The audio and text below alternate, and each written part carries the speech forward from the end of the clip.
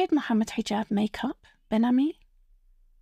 In the heated debate recently between Mohammed Hijab and Rabbi Shmuley on the Piers Morgan Uncensored show, some points were glossed over and accepted as fact without further investigations.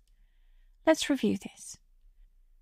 In regards to Mohammed Hijab's reference to Shlomo Ben Ami, who Rabbi Shmuley inferred that Mohammed Hijab had made up. the source. His name is uh, uh, uh, What's the point Bin of this, Ummi. His name is Bin Ummi. He's been uh, Bin Ami. Bin, ben What's the Ami. point of this? Ben Ami mentioned. Ben Ami mentioned that the the, de- the deal that was struck in 2000, Hmm.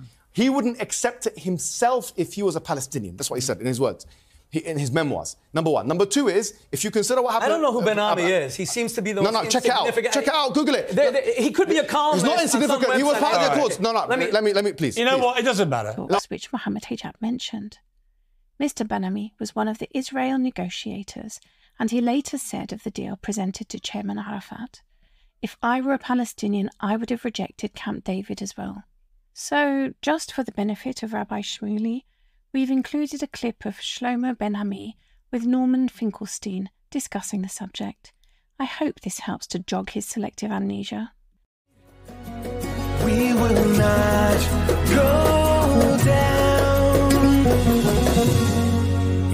eyes out tonight.